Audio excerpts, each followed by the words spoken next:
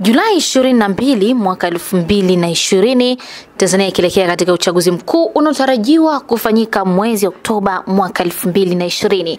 Mambo mengi sana yanajiri katika ulimwengu wa siasa. Sasa katika zoezi zima la uchukuaji fomu kuna mambo mengi sana ambayo yalijitokeza, na kama wewe ulikuwa mfuatiliaji mzuri wa mitandao ya kijamii, basi video ya huyu bwana unayoiona hapo utakuwa ni moja kati ya video ambazo uliiona.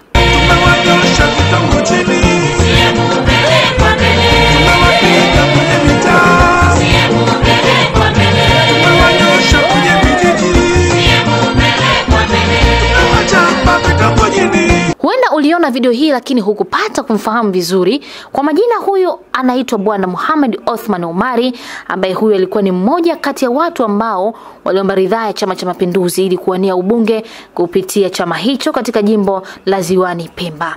Bwana Muhammad Othman Omari ni mmoja kati ya watu ambao wamegombea mara kadhaa eh, katika ngazi ya ubunge na hii ni mara ya tano kwake kuomba ridhaa hiyo ya Chama cha Mapinduzi ili kuwania ubunge wa jimbo hilo la Ziwani Pemba.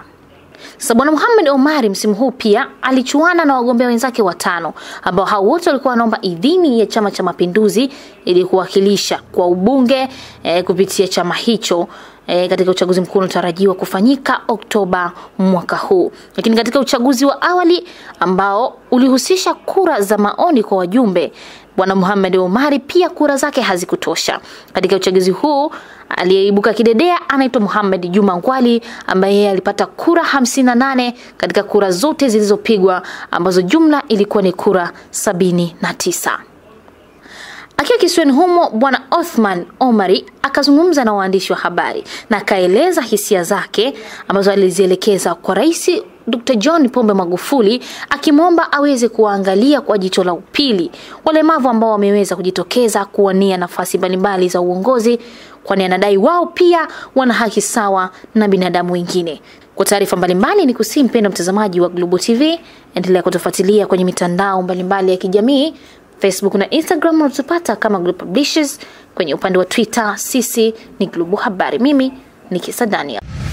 Karibu Tanzanite Jewels ni duka la uuzaji wa vitu vya thamani kama Tanzanite, dhahabu pamoja na silver. Tuna pete za uchumba na za ndoa, na zipo cheni za silver pamoja na gold, hereni, bracelets na vidani aina tofauti tofauti.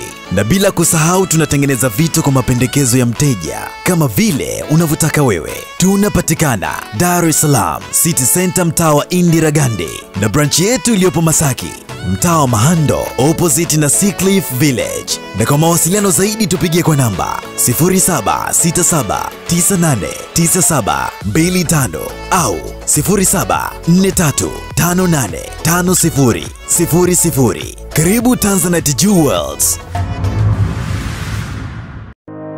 Ili kuwa mwanafamilia bora wa Global TV, usisahau kusubscribe, like, kushare na kucomment.